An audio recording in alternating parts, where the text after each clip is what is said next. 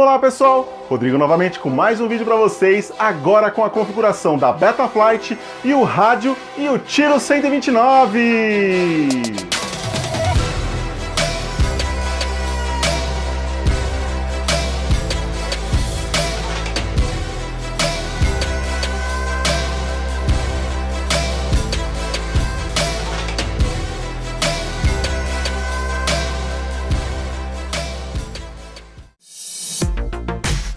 Ok, pessoal. Então, no vídeo de hoje, neste capítulo, eu vou mostrar para vocês como configurar o rádio e também a Betaflight com o seu Tiro 129. Começando pelo rádio, eu vou mostrar para vocês aqui as configurações básicas, isso vai de rádio para rádio. Então, vou estar tá entrando aqui na parte de Input Map no meu rádio Horus, aonde eu vou usar os canais auxiliares, né? Então, eu estou setando aqui as chaves para cada é, auxiliar que eu vou estar tá ligando esses auxiliares para cada canal. Então aqui eu estou ligando no auxiliar 1, né, o meu switch F é um switch de duas posições no meu Horus. Para quê? Para que eu vou usar para armar o drone. Aí eu tenho o auxiliar 2, que é um switch de três posições, onde eu vou estar tá usando é, os meus modos de voo. Então vou usar o Angle, o Horizon e o Acro, né? Então vai ser no auxiliar 2. No auxiliar 3 eu estou usando o Beeper, tá? Ideal também que seja uma chave de duas posições para você ativar o beeper. Lembrando que para ativar o beeper do, do tiro 129 é pelo motor, então se perder energia você não vai ter muita utilidade com ele, ok? No auxiliar 4 eu vou estar tá usando também o fail safe, então eu posso ativar o fail safe no auxiliar 4, tá? É, eu sugiro que o auxiliar 4 seja uma chave de duas posições, mas infelizmente eu não tenho no Horus, eu só tenho disponível uma chave de duas posições. Então vou ter que usar uma de três mesmo para ativar meu fail safe, ok? Então agora eu vou colocar aqui para vocês aonde eu liguei cada auxiliar com cada canal, tá? Então vamos lá. Vou dar o return ao output map, é onde eu ligo os auxiliares a cada canal correspondente, tá? Bem, antes de falar dos auxiliares, eu liguei aqui, ó, você pode ter algumas dificuldades na sua Betaflight no seu drone. Em relação ao canal 1, você vai usar o throttle, que é a aceleração. Né? Você vai usar o canal 2, o aileron, o canal 3, o elevator e o canal 4, o RUD. Então você tem que seguir nessa sequência para que faça corretamente com a Betaflight. Bem, no auxiliar 1, que eu comentei que é para armar o drone, vai estar no canal 5. O auxiliar 2 vai estar no 6, que são os modos de voo. O canal 7 eu coloquei é, para ativar o beeper, né? E o auxiliar 4, que é o fail safe, no canal 8, tá? É, no canal 12 eu coloquei o RSSI, mas vocês vão ver isso certinho no bind, tá? Eu vou colocar ele no canal 12 já automático para o meu receptor XM Plus já atualizado, tá bom? Então agora eu vou voltar aqui com as configurações, né? Entrando novamente aqui, eu tenho a parte de é, reverse, tá? Eu preferi ligar o reverse no canal 6, meus modos de voo, tá?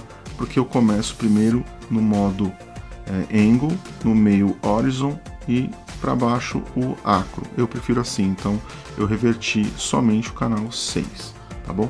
Então basicamente é o que eu fiz nas configurações para funcionar com o meu tiro 129, tá? Então a gente vai fazer o bind agora.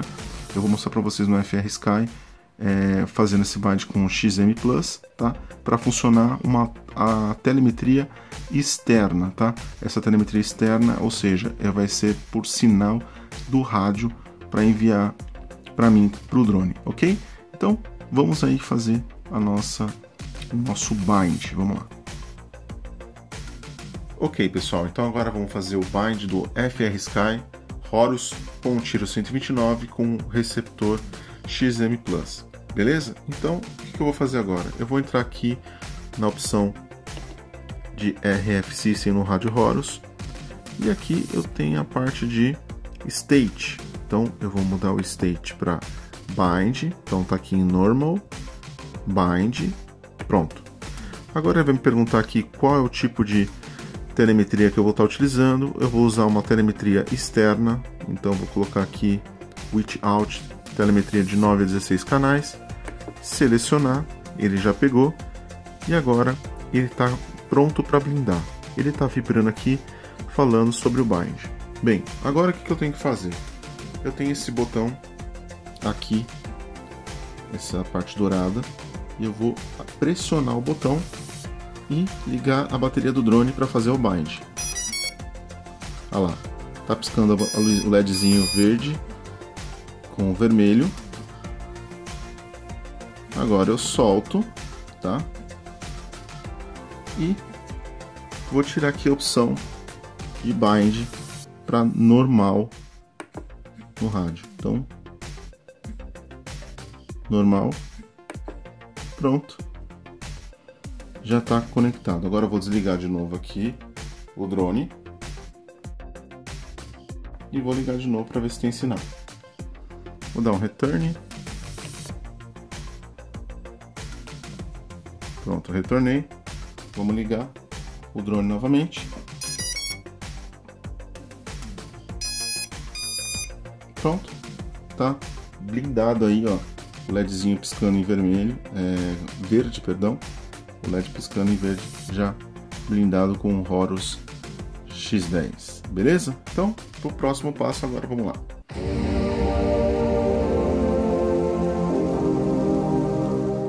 Ok, pessoal. No passo anterior a gente viu a configuração do rádio, né, e o bind.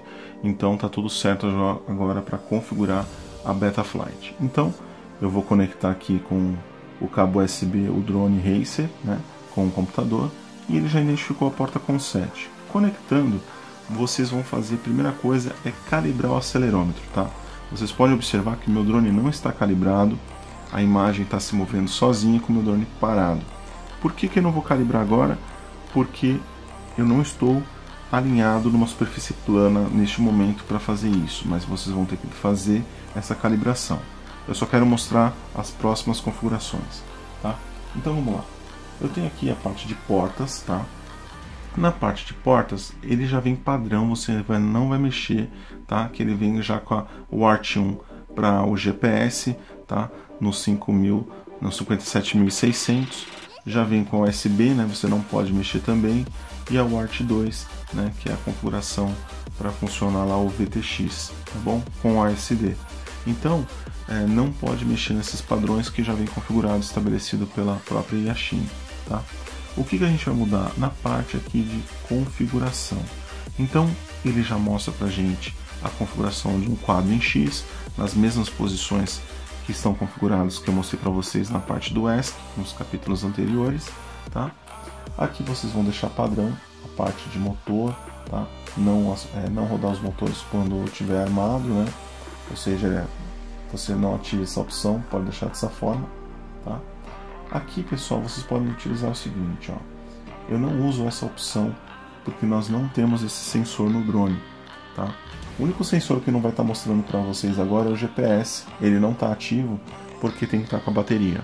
Não há necessidade de eu ligar a bateria. Então, eh, nós não temos um magnetômetro, então eu vou desligá-lo aqui, ó. Então, já desativei aqui para vocês, tá bom? Bem, aqui o ajuste para massa 180, tudo certinho, para o ângulo tá tudo certo. Aqui você vai colocar a personalização, o nome do seu drone. Então, você pode alterar aqui e colocar o nome dele, ok? Bem, agora o que, que acontece? Nós temos aqui a parte de receptor, né? Eu já usei ali a parte de S-Bus para funcionar com o nosso drone e também conforme nós colocamos a soldagem na placa que eu mostrei para vocês, tá bom? Bem, então aqui vai ficar ativo a parte do GPS vocês vão deixar nessa configuração, tá? Aqui vocês podem definir o número de acordo com a sua região, tá? Então eu não coloquei ainda essa configuração, tá? Mas você pode fazer de acordo com a sua região a configuração do magnetômetro, tá bom? Bem, aqui já veio o padrão da própria eShine, né? o que, que a gente vai estar usando, né? Ativar portas seriais baseadas em CPU, telemetria, né? Já está usando aqui o Air Mode. Bem, para quem gosta de voar em Air Mode, é, deixa ativado. É, tem um vídeo no capítulo, um vídeo aí no, no canal falando sobre a diferença de Air Mode e Acro, tá? Mas eu vou voar em Air Mode, tá?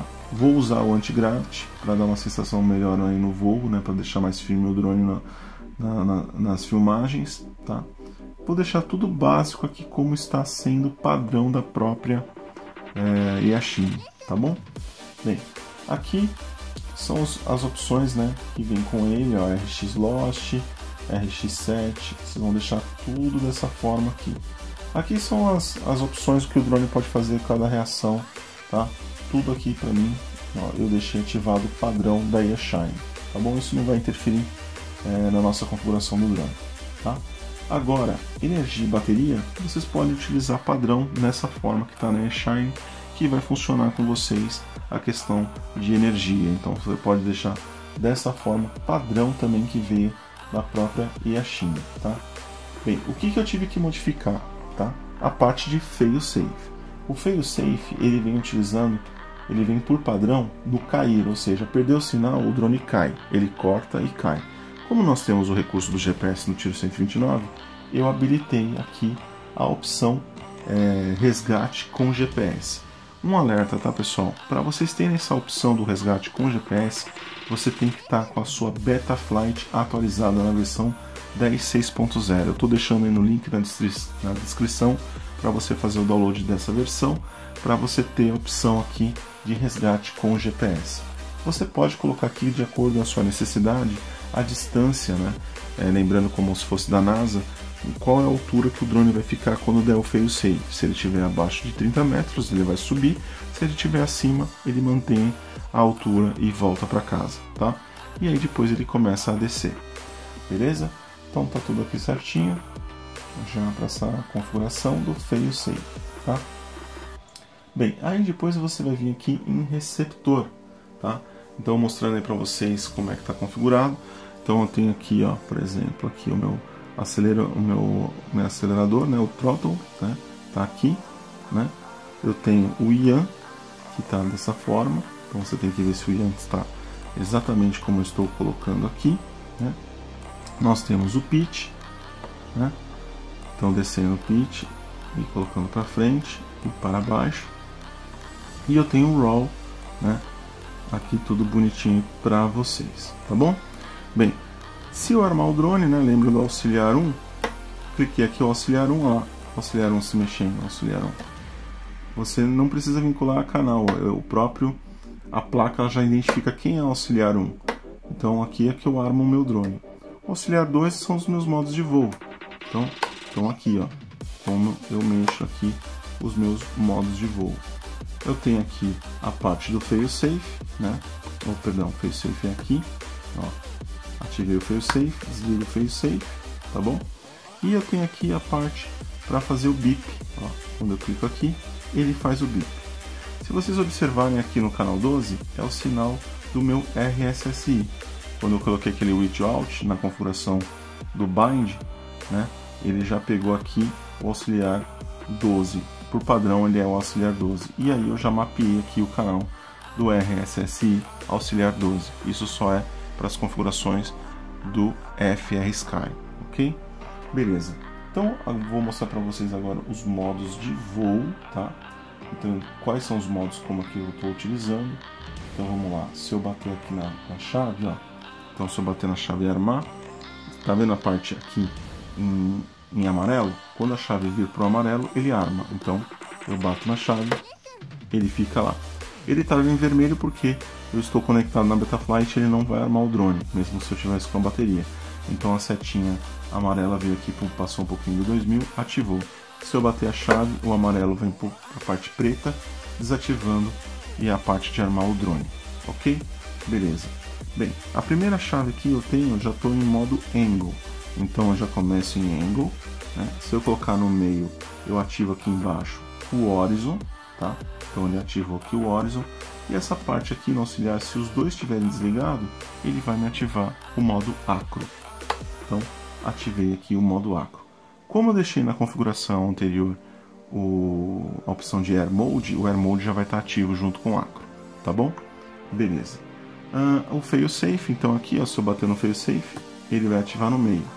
Se eu colocar para baixo aqui, ele desativa o fail safe. É uma chave de três posições então, infelizmente, eu não tenho uma chave de duas posições disponível para eu utilizar o failsafe. Então, quando eu precisar usar o failsafe, eu vou bater aqui. E o bip, né? É uma chave mola que eu tenho aqui, né? Ó, quando eu tiver perdido o drone assim, se eu perder o drone numa queda, eu ativo o bip, tá bom? Eu uso dessa forma aqui, tá bom? Então, eu tenho aqui a parte dos bits, né? A parte de ajustes, tá? Vou mostrar aqui para vocês. Bem, nessa versão 10.6 mudou um pouquinho, tá? Bem, na parte aqui de definição de perfil do PID, eu não alterei, tá? Estou utilizando toda a configuração padrão da eShine, tá? Só no definição de perfil que eu alterei aqui um pouquinho as taxas, tá? Aqui no IAN, a taxa da RC eu coloquei 1,20, tá? A taxa super, aqui estava tudo em 70, as três opções. Eu coloquei 80, 80 e 81, tá? Por que que eu fiz isso? Eu aumentei a taxa porque eu vou estar utilizando essa bateria aqui, ó, a RL é, R-Line, né, da uma Tatu de 1800 é, microampere tá? Eu ainda não vou ir com o drone, vou fazer o teste, vamos ver se vai estar tudo bacana esses speeds ainda, tá? Então mais ou menos alterei com um pouco de conhecimento que eu já tenho, tá? Bem, então basicamente você vai usar essas configurações, tá? e eu vou estar tá recomendando em breve no canal aí um unbox dessa bateria aí para vocês. Eu nem vou mostrar elas porque elas estão lacradas ainda, tá bom? Então vamos lá, pessoal. Continuando então. Então, feito aqui os ajustes dos PIDs, tudo bonitinho, você já tem a, a, tudo configurado. A parte de GPS eu não vou mostrar para vocês porque o drone tem que estar tá ligado, eu teria que estar tá lá fora para ele mostrar aqui a localização, quantos satélites está pegando, aqui não vai dar. Então eu recomendo você estar tá com o notebook é, na rua, na sua casa, para ver funcionando com a bateria ligada no drone. Tá? Bem, motores. Motores eu não vou precisar mostrar para vocês, eu mostrei no vídeo é, anterior, no capítulo 3, mostrando aí para vocês como o, a função dos motores, tudo bonitinho, a calibração do ESC. Nós fizemos no capítulo 3. Agora o que interessa é a parte aqui né, do OSD que vai estar tá sendo exibido. Aqui, pessoal, o OSD é, uma particular, é, uma, é muito particular tá? Eu coloquei aqui é, a altura do drone, quantos metros de distância, né? A setinha para me, informar ali a localização de return to home. É, colocou para mim a distância de que eu estou de casa, o meu número de satélites, qual modo de voo eu estou usando, né? Então eu tenho aqui, é tudo bonitinho, ó. Modo de voo, quando vai informar a bateria que está acabando, aqui mostrando a voltagem corrente da bateria e aqui mostrando a quilômetros por hora. O legal de você ter GPS é isso, é que o drone pode te informar quantos quilômetros por hora você está indo. Essa é a vantagem do GPS, né? Então, eu vou colocar aqui também o sinal do RSSI. Eu não coloquei ainda, tá? Para mim colocar aqui, deixa eu ver se eu já localizo aqui para vocês a parte do RSSI. Aqui nas posições.